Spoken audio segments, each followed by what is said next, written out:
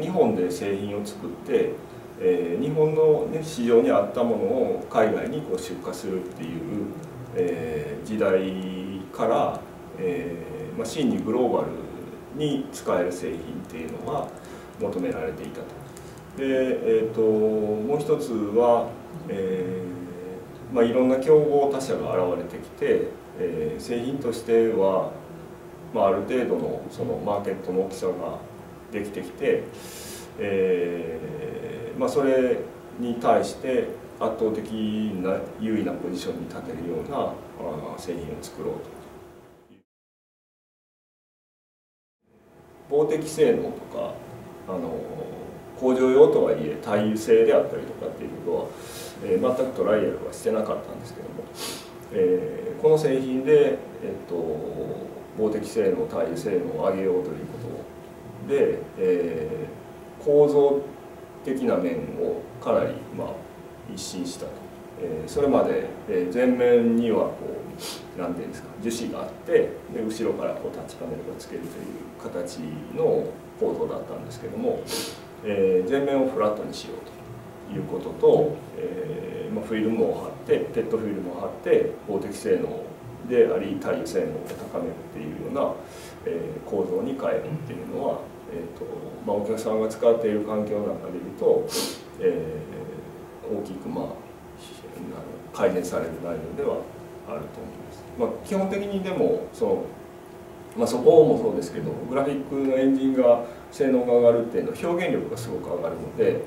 えー、数値を表示したりとかあるいは文字を表示したりっていうのはそんなにストレスはなかったんですけども、えー、グラフィックを表示するってなると、えー、従来のやり方ではちょっとまだストレスがあったんでそれをそのもっと速いエンジンを作ろうっていうことで、えー、ストレスのない製品を作ろうっていうのはあのあったと思いますね。今皆さん覚えてないと思うんですけど、えー、ザウルスという電子手帳が流行ったんですね。電子辞書の中身っていうのは我々が作っている製品にものすごい近いんですね。液晶をグラフィックで、えー、フラッシュメモリーで CPU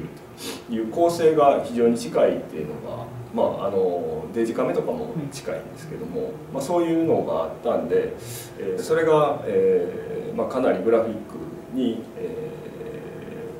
ー、きれいに動いているということとそれと、まあ、リスクプロセッサーを採用していると。いうこともあって我々もその、まあ、リスクプロセッサーを採用して、えー、グラフィックの部分を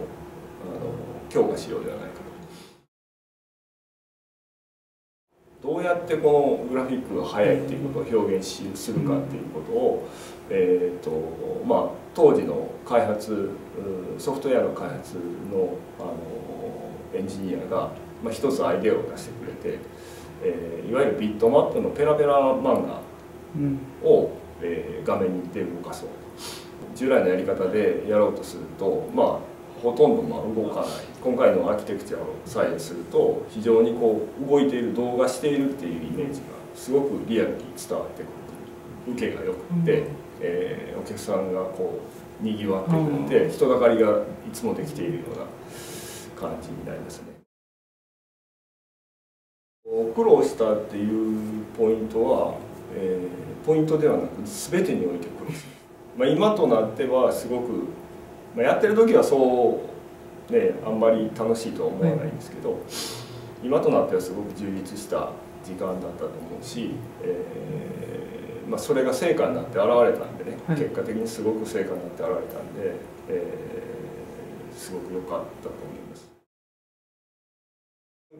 結果的にそういう積み重ねがあって、えーと、発売開始してから2年で、えー、販売台数が倍増したんですよねその当時のこう飛躍っていうのが、え